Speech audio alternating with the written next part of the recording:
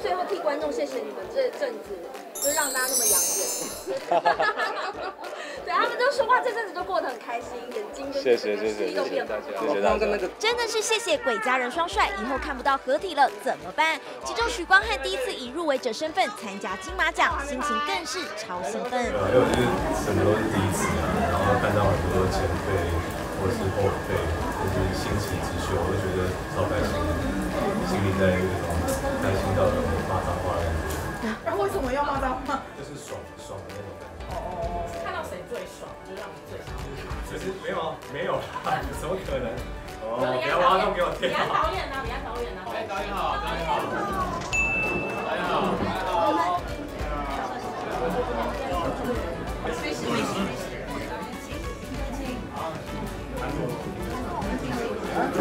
你看导演有没有想要对两位男主角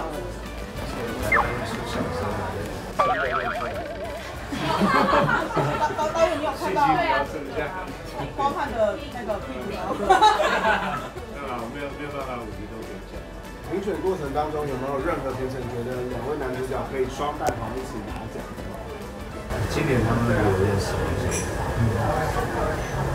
本来有那种期望，那种期望，他的片子以后对于古方的那一角色都。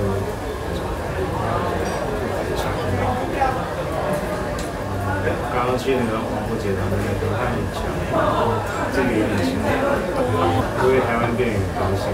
尽管最后无法开出双蛋黄，不过电影关于我和鬼变成家人的那件事，成为今年台湾华语电影票房冠军，也让粉丝敲碗希望有续集。那因为这个改编剧本得到大家都会一直就是敲碗说导演那个续集的部分或这个故事的一个发想，有可能还有。好，没有没有没有，我没有什么意思。导演，可以。有没有说？宇宙宇宙未未诶会啊会啊，就希望未来可以开始有一些新的宇宙让大家看到这样。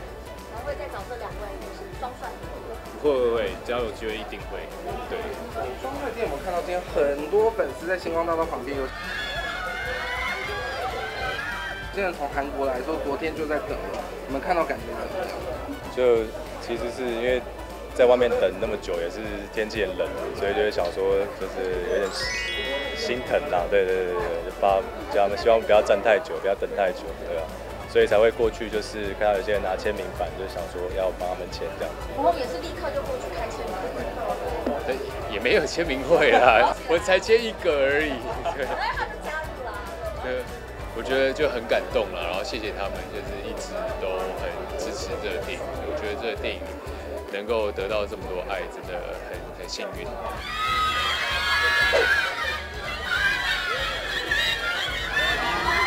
亲切的和粉丝互动签名，连金马工作人员都要来赶紧请双帅入场。就是这样暖心、宠粉无极限的许光汉、林柏宏，怎能让人不爱呢？王群乐、简婉如采访报道。